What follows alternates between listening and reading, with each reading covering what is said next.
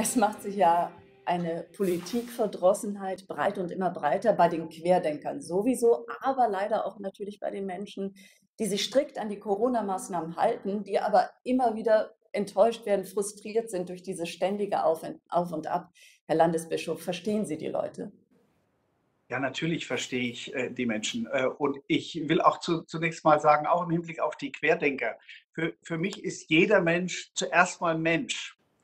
Äh, und deswegen möchte ich wissen, was ihn bewegt, wie er zu dem kommt, äh, was ich vielleicht dann auch äh, einfach wo ich widersprechen muss, aber ich will ihn zuerst mal als Menschen sehen.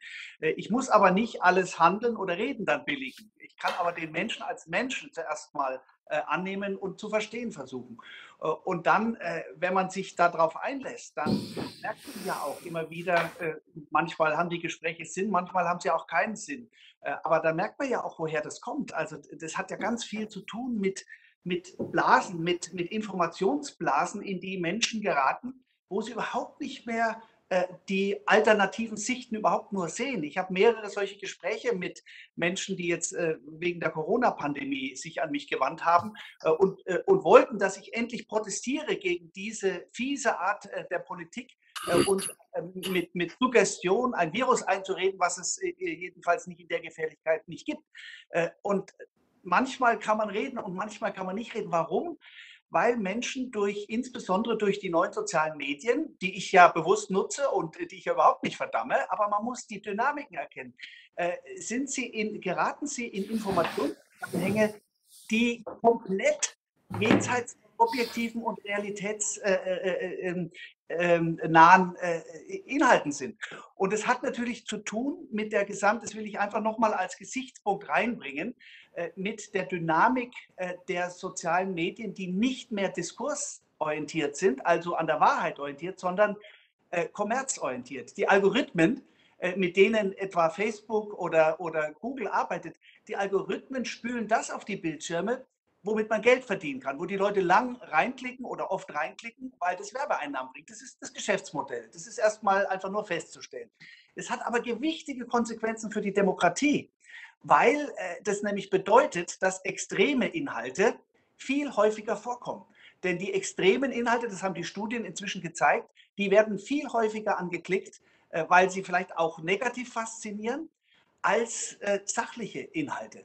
Und das hat eine Riesenkonsequenz für unsere Demokratie, weil man dann durch die Algorithmen ja auch immer wieder die gleichen Sachen äh, geliefert bekommt äh, und man irgendwann in einer Blase drin ist, äh, wenn man sich jetzt nicht breiter informiert, in der man dann tatsächlich zu Auffassungen kommt, die komplett der Realität, von der Realität sich entfernt haben. Das wollte ich nur noch mal zu den Querdenkern sagen. Da, da durchzustoßen, da trotz dieser Dynamik ins Gespräch zu kommen, das ist eigentlich die, die Aufgabe. Und dann gibt es natürlich viele Menschen, äh, die mit Querdenkern gar nichts zu tun haben, die einfach jetzt äh, sagen, es geht doch nicht mehr. Und die vielleicht auch sagen, äh, Leute, ihr müsst eine, eine bessere Balance hinkriegen zwischen dem Gesundheitsschutz und dem, äh, de, der Verhinderung des Ruins der Seele. Äh, ich, ich, finde, wir haben im letzten Jahr viel zu wenig über die Seele geredet. Wir haben in den Sondersendungen äh, immer äh, mit guten Gründen Virologen gehört und, und äh, die Frage, in welche Länder kann man fahren und wann kann wieder wo geöffnet werden.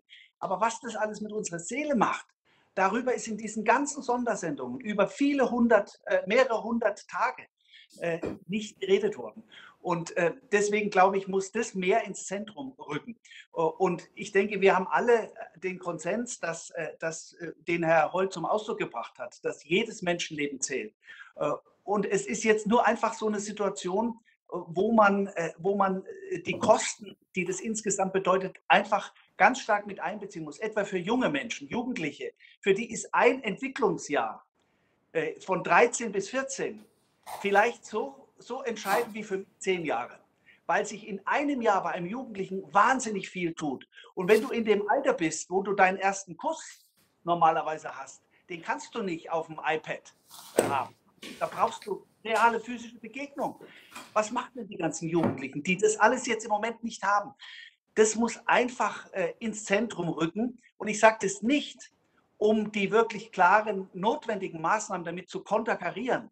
Denn die, die habe ich immer mitgetragen, die trage ich auch mit, weil ich weiß, dass es den Menschen, die politische Verantwortung tragen, doch nicht darum geht, das Leben abzutöten. Die wollen nur das eine, die, den, den Schaden, den dieses Virus anrichtet, so sehr wie möglich zu begrenzen.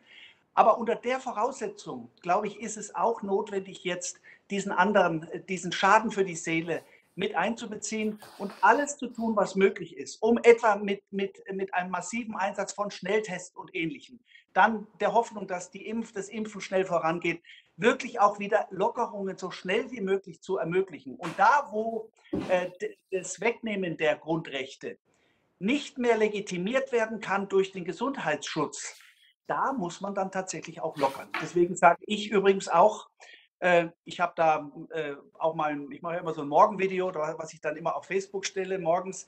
Ähm, und da habe ich mal eins gemacht zum Gönnen können.